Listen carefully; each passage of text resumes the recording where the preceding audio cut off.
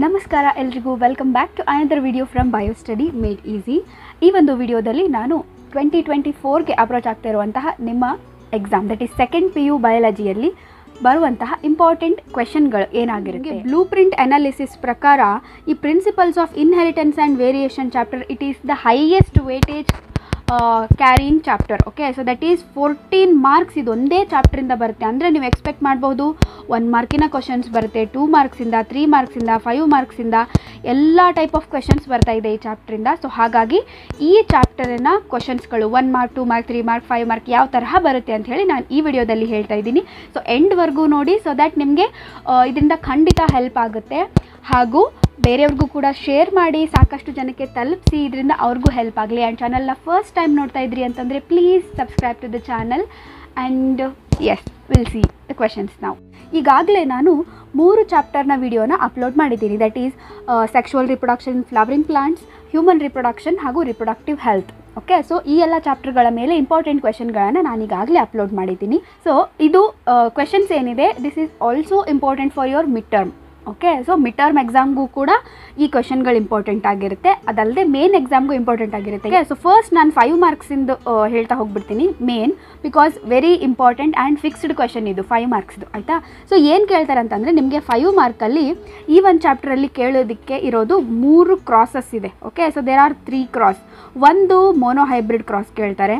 ಇನ್ನೊಂದು dihybrid cross ಕೇಳ್ತಾರೆ and ಇನ್ನೊಂದು ಇನ್ಕಂಪ್ಲೀಟ್ ಡಾಮಿನೆನ್ಸ್ ಓಕೆ ಸೊ ಈ ಮೂರರಲ್ಲಿ ಯಾವುದಾದ್ರೂ ಒಂದು ಫಾರ್ ಶೋರ್ ಕೇರೆ, ಕೇಳೇ ಕೇಳ್ತಾರೆ ಓಕೆ ಸೊ ಹಾಗಾಗಿ ನಿಮಗೆ ಈ ಮೂರು ಕ್ರಾಸ್ಗಳನ್ನು ನೀವು ಕರೆಕ್ಟಾಗಿ ಓದ್ಕೊಂಡು ಹೋದ್ರಿ ಪ್ರಾಕ್ಟೀಸ್ ಮಾಡಿದ್ರಿ ಅಂತಂದರೆ ಫೈವ್ ಮಾರ್ಕ್ಸ್ ಫಿಕ್ಸ್ ನಿಮಗೆ ಸಿಕ್ಕೇ ಸಿಗುತ್ತೆ ಓಕೆ ಸೊ ಹೇಗೆ ಕೇಳ್ತಾರೆ ಈ ಕ್ವಶನನ್ನು ಅನ್ನೋದಕ್ಕೆ ನಾನು ಇವಾಗ ಹೇಳ್ತಾ ಇದ್ದೀನಿ ನೋಡಿ ಓಕೆ ಸೊ ಮೋನೋ ಹೈಬ್ರಿಡ್ ಕ್ರಾಸನ್ನು ಹೇಗೆ ಕೇಳ್ತಾರೆ ಕ್ವಶನ್ ಅಂದರೆ ಫಸ್ಟ್ ನಿಮಗೆ ಇನ್ಹೆರಿಟೆನ್ಸ್ ಆಫ್ ಒನ್ ಜೀನ್ ಅಂತ ಕೇಳಬಹುದು, ಅಥವಾ state Mendel's first law that is law of dominance okay so law of dominance so law of dominance ಇರಬಹುದು, ಅಥವಾ ಲಾ ಆಫ್ ಸೆಗ್ರಿಗೇಷನ್ ಇರಬಹುದು okay so totally first law ಕೇಳಿ second ಲಾ ಕೇಳಿ, ನೀವು ಏನು ಮಾಡಬೇಕು ಅಂತಂದರೆ ಆ ಲಾ ಅನ್ನು ಬರೋದು ಓಕೆ ಒನ್ ಮಾರ್ಕಿಗೆ ಇರುತ್ತೆ ಲಾ ಅನ್ನು ಬರೆಯೋದಕ್ಕೆ. ಅದಾದಮೇಲೆ ನೀವು ಸ್ಕಿಮ್ಯಾಟಿಕ್ ರಿಪ್ರೆಸೆಂಟೇಷನ್ ಹಾಕಬೇಕು. ಓಕೆ ಸೊ ಕ್ರಾಸನ್ನು ಹಾಕಬೇಕು. ಮೋನೋ ಹೈಬ್ರಿಡ್ ಕ್ರಾಸನ್ನು ಓಕೆ ಸೊ ಈ ತರಹ ಆದರೂ ಕೇಳ್ಬೋದು ಅಥವಾ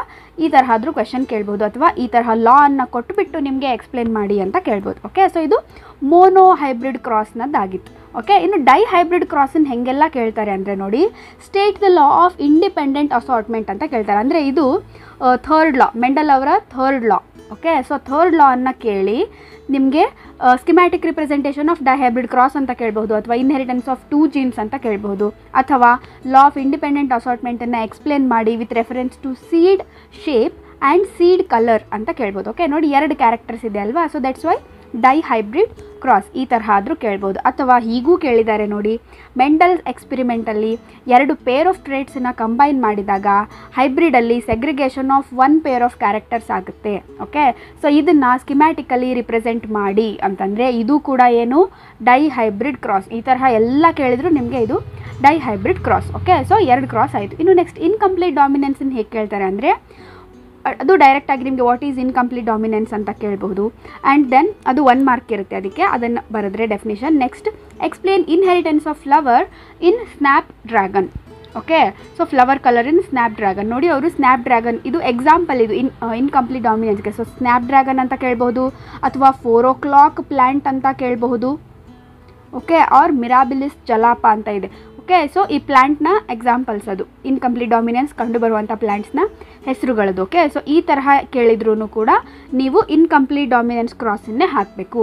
ಸೊ ಮಾರ್ಕ್ಸ್ ಡಿಸ್ಟ್ರಿಬ್ಯೂಷನ್ ಹೇಗಿರುತ್ತೆ ಅಂತಂದರೆ ನೋಡಿ ಲಾಸನ್ನು ಕೇಳಿದಾಗ ಏನು ಏನಾಗುತ್ತೆ ಅಂದರೆ ಒನ್ ಮಾರ್ಕು ಲಾಗ್ ಹೋಗುತ್ತೆ. ತ್ರೀ ಮಾರ್ಕು ನೀವೇನು ಕ್ರಾಸನ್ನು ಹಾಕ್ತೀರಾ? ಅದಕ್ಕಿರುತ್ತೆ. ಆ್ಯಂಡ್ ಲಾಸ್ಟ್ ಒನ್ ಮಾರ್ಕ್ ನಿಮಗೆ ರೇಷಿಯೋಗಳನ್ನು ಬರೀತೀರಲ್ವಾ? Phenotypic and genotypic ratio that is ರಿಸಲ್ಟಿಗೆ ನಿಮಗೆ ಫೈನಲ್ ಆಗಿ ಒನ್ ಮಾರ್ಕ್ ಇರುತ್ತೆ. ಓಕೆ ಸೊ ಹಾಗಾಗಿ ಮಿಸ್ ಮಾಡದೆ ನೀವು ಫಿನೋಟಿಪಿಕ್ ಮತ್ತು ಜಿನೋಟಿಪಿಕ್ ರೇಷಿಯೋನ ಬರೀಲೇಬೇಕು at the end okay so dye ಹೈಬ್ರಿಡ್ಗೆ ಜಿನೋಟಿಪಿಕ್ ಬರೆಯೋ ಅವಶ್ಯಕತೆ ಇಲ್ಲ. ಫಿನೋಟಿಪಿಕ್ ಬರೆದ್ರೆ ಸಾಕು. ಓಕೆ ಸೊ ಈ ತರಹ ನಿಮಗೆ ಫೈವ್ ಮಾರ್ಕ್ಸ್ ಆರಾಮಾಗಿ ಒಂಥರ ಮ್ಯಾಥ್ ಮ್ಯಾಥಮೆಟಿಕ್ಸ್ ತರಹ ಇದು ಸ್ಟೆಪ್ ವೈಸ್ ಮಾರ್ಕ್ಸ್ ಇರೋದ್ರಿಂದ you can easily score out of five marks total five ಮಾರ್ಕ್ಸನ್ನು ನೀವು ಸ್ಕೋರ್ ಮಾಡ್ಬೋದು ಓಕೆ ಸೊ ಇದು ಫೈವ್ ಮಾರ್ಕ್ಸ್ನ ಕ್ವಶನ್ ಆಗಿದೆ. ಇನ್ನು ನೆಕ್ಸ್ಟ್ ತ್ರೀ ಮಾರ್ಕ್ಸಲ್ಲಿ ಕೇಳುವಂತಹ ಕ್ವಶನ್ ಈ ಚಾಪ್ಟರಲ್ಲಿ ನೀವು ಕ್ರಾಸನ್ನು ಬಿಟ್ಟರೆ ನೆಕ್ಸ್ಟ್ ಕಾನ್ಸೆಪ್ಟ್ ಇರೋದೇ ಜೆನೆಟಿಕ್ ಡಿಸಾರ್ಡರ್ಸ್ ಸೊ ಒಂದು ಮೆಂಡಲಿಯನ್ ಇನ್ನೊಂದು ಕ್ರೋಮೋಸೋಮಲ್ ಡಿಸಾರ್ಡರ್ಸ್ ಅದರಲ್ಲೂ ಸ್ಪೆಸಿಫಿಕ್ ಆಗಿ ಈ ಕ್ರೋಮೋಸೋಮಲ್ ಡಿಸಾರ್ಡರ್ಸ್ ಏನಿದೆಯಲ್ಲ they are highly important three ಮಾರ್ಕ್ಸಲ್ಲಿ ಎಲ್ಲ ಕ್ವಶನ್ ಈ ತರಹ ಕೇಳ್ತಾರೆ. ರೈಟ್ ಅ ನೋಟ್ ಆನ್ ಅಂತ ಕೇಳ್ಬೋದು. ದಟ್ ಈಸ್ ಕ್ರೋಮೋಸೋಮಲ್ ಮೂರು ಡಿಸಾರ್ಡರ್ಸ್ ಇದೆ. Down's Klinefelter Turner syndrome ಇದ್ರ ಮೇಲೆ ರೈಟ್ ಅ ನೋಟ್ ಆನ್ ಅಂತಂದರೆ ನೀವೇನು ಬರಿಬೇಕು? ಅದರ ಕ್ಯಾರಿಯೋ ಟೈಪ್ ಮತ್ತು ಅದರ ಸಿಂಪ್ಟಮ್ಸನ್ನು ಬರಿಬೇಕು. Okay so this is highly important ಬಿಟ್ಟರೆ ಮೆಂಡಲಿಯನ್ ಡಿಸಾರ್ಡರ್ಸಲ್ಲೂ ಕೂಡ ಏನು ಕೇಳ್ತಾರೆ? Write the cause and symptom of haemophilia, colour blindness, phenylketonuria, sickle cell anaemia thalassaemia ಇದರಲ್ಲೂ ಹೆಚ್ಚು ಇಂಪಾರ್ಟೆಂಟ್ ಯಾವುದು ಅಂತಂದರೆ phenylketonuria is highly important and sickle cell anaemia is important and haemophilia very very important. Okay? So they are very important ಅದರಲ್ಲೂ okay? ಇನ್ನು next ಮತ್ತಿನ್ನೇನು ಕೇಳ್ಬೋದು three ಮಾರ್ಕ್ಸಲ್ಲಿ ಅಂತಂದರೆ ನೋಡಿ, ಈ ಜೀನೋ ಟೈಪ್ಗಳನ್ನು ನೀವು ಎಕ್ಸ್ಪ್ಲೇನ್ ಮಾಡಿ ಅಂತ ಕೇಳಿದ್ದಾರೆ. ಯಾವುದು? Homozygous genotype of A, B and O blood groups okay so A B O blood grouping okay so blood grouping ಏನಿದೆ?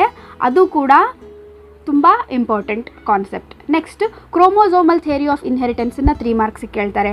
Next sex determination in human beings ಇದನ್ನು ತ್ರೀ ಮಾರ್ಕ್ಸಲ್ಲಿ ಕೇಳ್ತಾರೆ. ಮತ್ತೆ, ಅಂದರೆ ನೋಡಿ ತ್ರೀ ಮಾರ್ಕ್ಸಿನ ಇಂಪಾರ್ಟೆಂಟ್ ಯಾವುದು?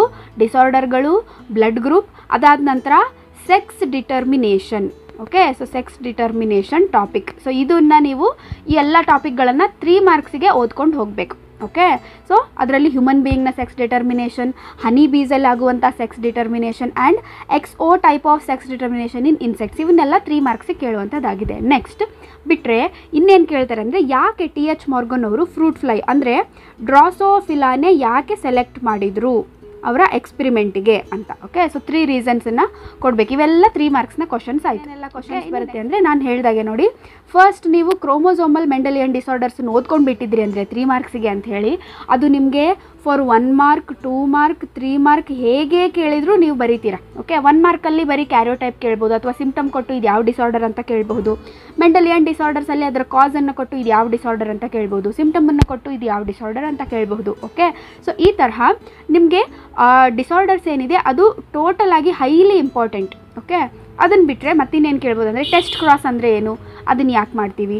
ಕ್ರೋಮೋಸೋಮಲ್ ಡಿಸಾರ್ಡರ್ಸ್ ಅಂದರೆ ಏನು? ಅದಕ್ಕೊಂದು ಎಕ್ಸಾಂಪಲ್ ಕೊಡಿ. ಮೆಂಡಲಿಯನ್ ಡಿಸಾರ್ಡರ್ಸ್ ಅಂದರೆ ಏನು? ಅದಕ್ಕೆ ಎಕ್ಸಾಂಪಲ್ಸ್ ನೋಡ್ಕೊಳ್ಳಿ.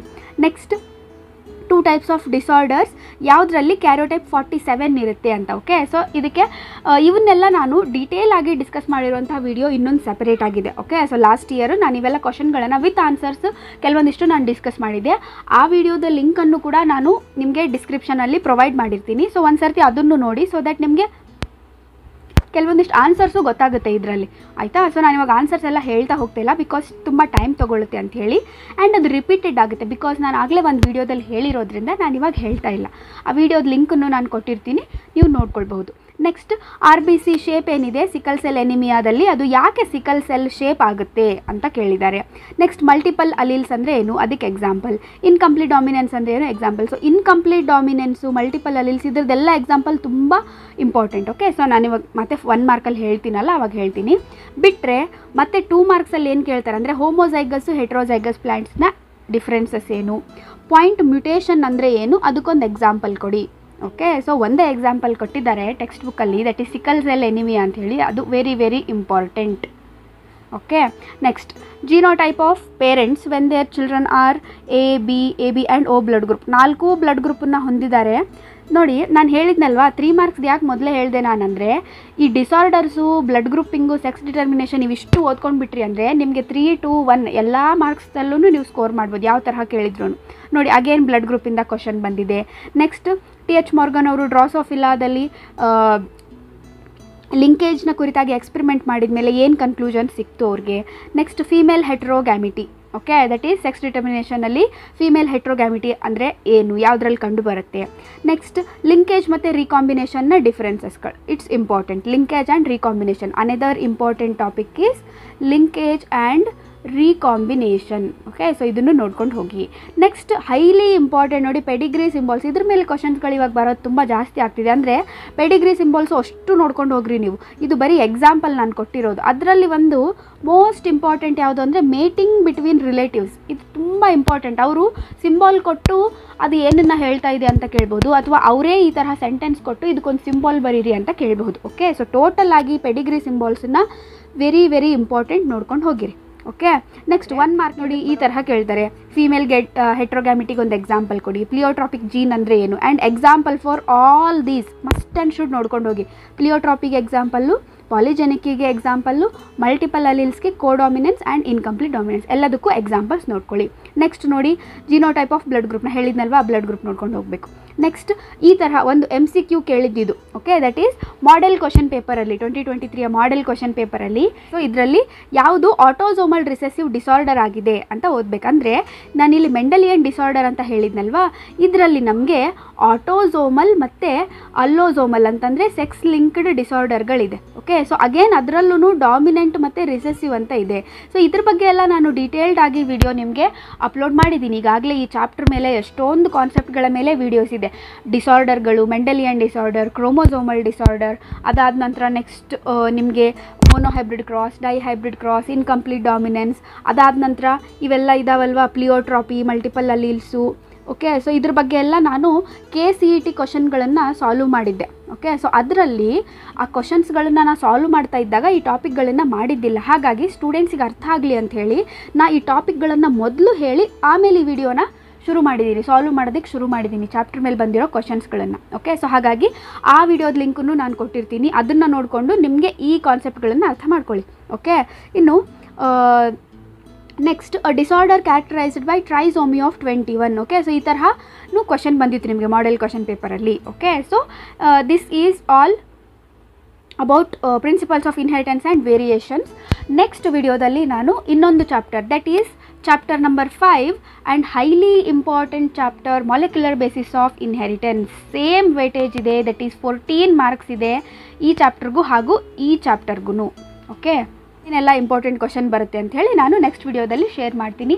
Do subscribe to the channel and share with your friends as much as possible so that ಬೇರೆಯವ್ರಿಗೂ ಹೆಚ್ಚು ಹೆಚ್ಚು ತಲುಪಲಿ ಈ ವಿಡಿಯೋಸ್ಗಳು ಅವ್ರಿಗೂ ಹೆಲ್ಪ್ ಆಗಲಿ ಇದರಿಂದ. And thanks for watching my dear students all the best